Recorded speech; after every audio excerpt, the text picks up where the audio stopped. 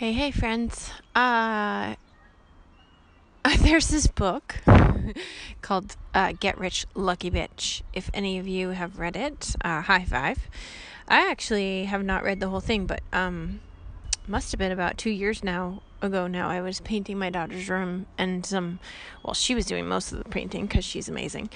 Um, but some of my closest friends were really into that book, so I thought, why not listen to it while I work, right? It's perfect time to listen to stuff.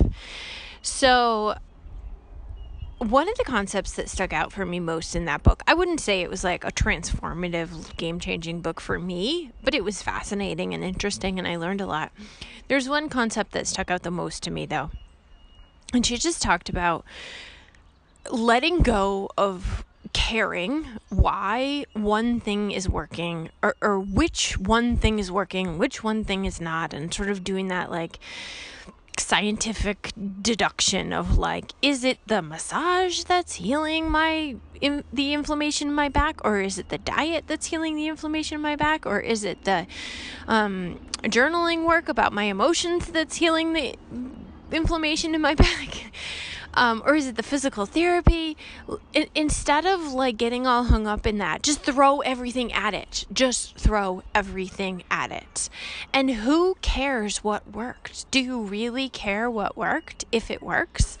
Um, and in her, you know, the book is called Get Rich Lucky Bitch. So it was certainly about making money and all of her um, approaches and all of her resources and all of her coaching and all of her uh, activities to create wealth. And, you know, she said, like, I don't know what worked and what didn't work. I just threw everything at it. And I think that's what works. If I'm being if I'm being honest, um, what I've seen in myself and other people is that when we hung up on like I'm gonna try this one thing, and if it works, yada yada yada. If it doesn't work, I'll try the next thing. And I think that is just like the complete wrong message to send to the universe, to God, to yourself, to um, everyone who's watching you. Uh, that message says, like, I, am going to isolate it out and I'm going to start to try to control it and I'm going to um, be really critical of the results.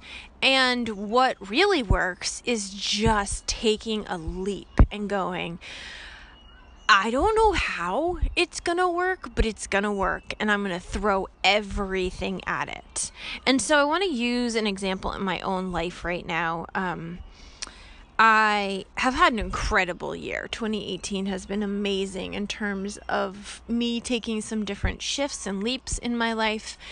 And it's really been a process of throwing a lot of stuff um, into the mix, which uh, some would say takes away from focus, but when you're talking about healing work and changing stories and making uh, energetic shifts in your life, you really gotta just dig in and try everything and not care what works. So, I have never had any shamanic work done. I've always been sort of curious about it. I'm always curious about all these modalities. There isn't a modality I don't think that I wouldn't try. I try everything.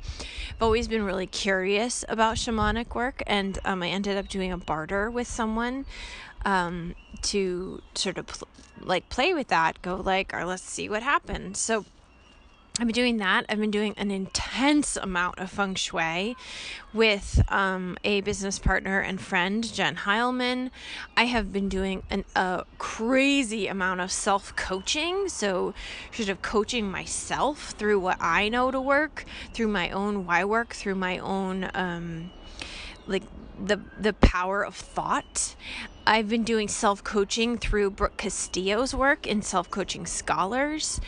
I then just had an incredible massage recently. I was dealing with some shoulder pain and um and she just allowed me to, to release and process and um it wasn't just a massage, it was a deep transformational mind body craziness experience because I'd been throwing all this other stuff at my growth and change. And it was the massage um, that sort of brought a lot of it to light. But how, would the massage have done that on its own? Would I say, like, oh, it was the massage that made the biggest shift? No, because I was doing so much other work that that kind of just pulled together a lot of the pieces. It pulled together the pieces and like everything started clicking. And I've noticed a really big shift since that. But if I had said, I'm to try the shamanic work and see what happens. And then I'll, I'll evaluate and I will try the self coaching work and I'll see what happens. And then I will evaluate and I'll try the feng shui work. Like, I would be months out and probably have no, made no progress. Instead, I was just like, things have got to change there's really big stuff coming for me, for all the people who choose to participate in what I'm sharing with the world. There's good stuff coming. Um, there's good stuff happening right now. And if I had decided to, like, just lengthen out that process and not just throw everything at it and go, this is changing and it's changing in a really intense, powerful, beautiful way, ASAP. Um, I wouldn't be having the shifts I'm having right now. I wouldn't be feeling what I'm feeling right now. Um, my marriage has been improved my relationship with my children has been improved my home is like becoming this beautiful space again that i want to spend time in. I'm getting all these crazy business ideas and taking action and moving forward. Um, i'm getting a lot of clarity about letting things go releasing things that um, that even things that i love that i just it's time to move on from. And it's just been amazing. So that's my message to you um, and maybe that's what I will title this throw everything at it. Because if you really want things to change, you have to take a leap and you have to just try everything. And I know there's my scientific, the scientific friends among us who are like, really resistant to that not knowing what worked um when i was really into i'm still incredibly passionate about medicinal mushrooms, but it is not my full time focus to share those with the world.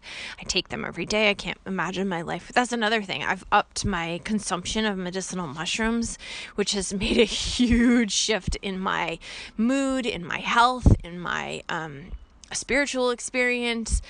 No, they're not psychedelic. and um, so, just one more thing I've been throwing at it really heavy in a way that I don't normally. Um, shoot, I sort of lost my train of thought on that. Uh, I don't know. I don't know what it was, but my message to you is throw everything at it. Don't be afraid to just go all in. And don't be and it's not something I've done on my own. Like I have Brooke guiding me through the self-coaching scholars work. I have Jen guiding me through the feng shui work. I have really close friends who are willing to hear my craziness and process with me. I have some amazing barters going on with really incredible women. Um, this isn't work that you can really do alone another favorite mentor of mine, Claire Pearson, says that we are herd animals and we're not meant to do this alone. So make sure you have a tribe of people. If you don't like the word tribe, a community, a network, um, a sisterhood, whatever you want to call it. Um, make sure you're not doing this work alone because it's not going to be as effective. Even just, I could give you all of the tools and resources and information I have learned and that I use in my coaching practice, and it wouldn't have the same effect on you as it does when I'm in a one on one coaching session with someone. I've done group coaching sessions that are awesome, but they're not the same when you're really in it with somebody, you're connecting with somebody and choosing growth and progress. So get out there, throw everything at it, and let me know how it goes.